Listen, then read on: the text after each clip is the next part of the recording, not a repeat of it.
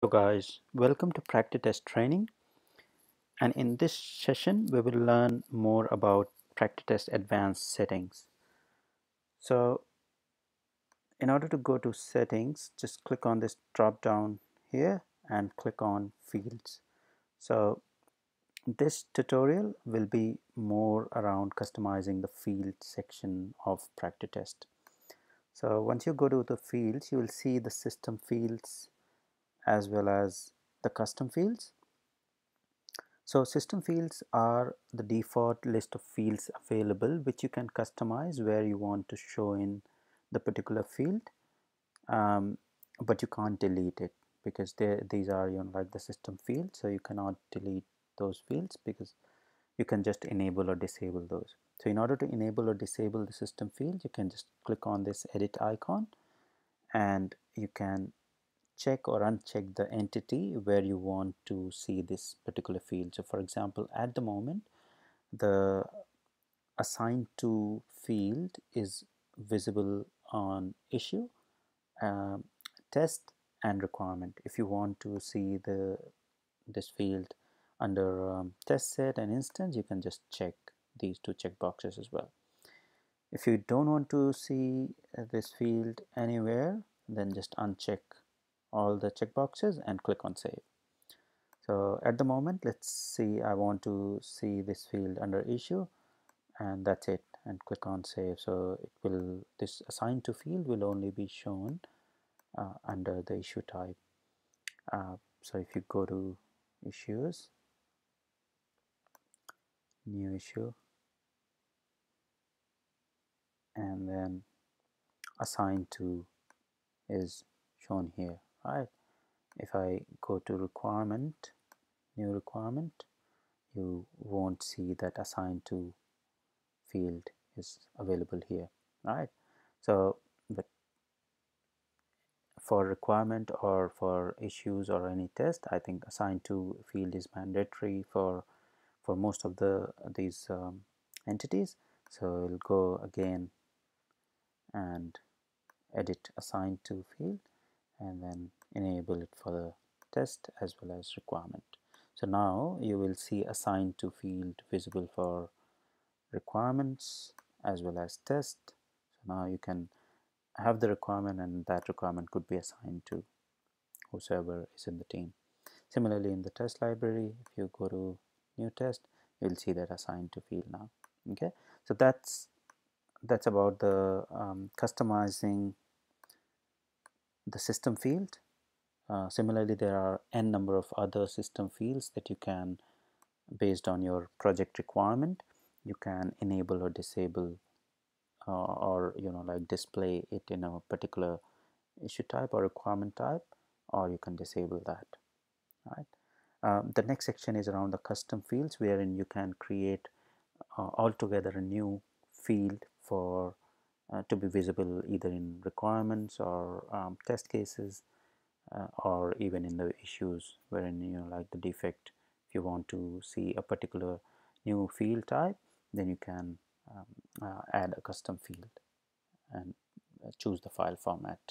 So for example if you go to the requirements um, and in an agile project you would uh, also assign the story points for a particular requirement. So you, you need to have that story points field available in the requirement. So let's go to settings again and add that story point field right? So at the moment there is no story point field. What I'll do is I'll click on create new custom field and I'll put the name as story points.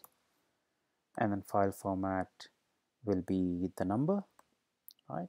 Because I'll be putting the story points in uh, numbers and where do I want to see the story points? It will be mostly under the requirement right? So and click on save. So that particular field just got created. So if you go here under the custom fields you will see the story points and field format is number and will be linked to the requirement. And this was created in 5th of Feb and modified 5th of Feb. So now let's go and edit it again and see some other fields are available here right? So if you check mandatory then that becomes a mandatory field for every requirement. So if you if you don't want anyone to save the um, the requirement without estimating it then you can make that field as mandatory.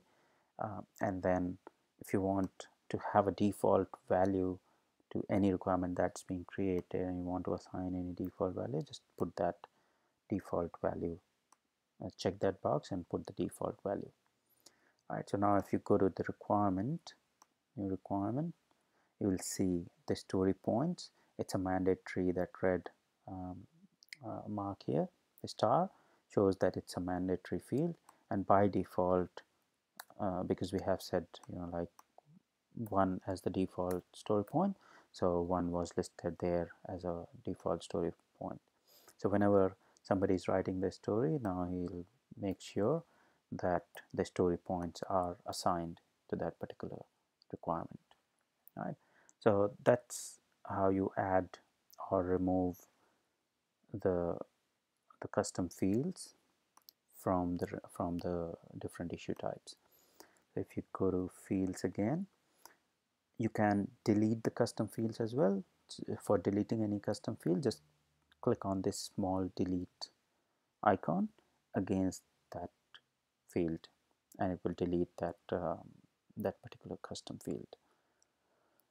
Now the next thing is so for example you want to remove some of the custom some of the fields from here. So for example I don't want to see the tag comma separated. I'll click, go in the fields and then edit. This is the system field. I'll just directly go to the tags comma separated and I'll uncheck it in the requirement. And I won't see that anymore that field anymore in the requirement if you see that so that tags thing has gone right so I mean customizing or adding new fields in PractiTest is pretty easy and um, simple, uh, straightforward, you know, like uh, way to add. Um, and even adding the custom fields and customize and uh, adding a custom field uh, and deleting them is also pretty straightforward. So depending what your project demands or what what the needs or defaults are required for your project, you can very easily add or delete the custom fields in PractiTest. So that's pretty much about um, system field and custom field in PractiTest. In next session, we will learn about the workflow in PractiTest. Thank you.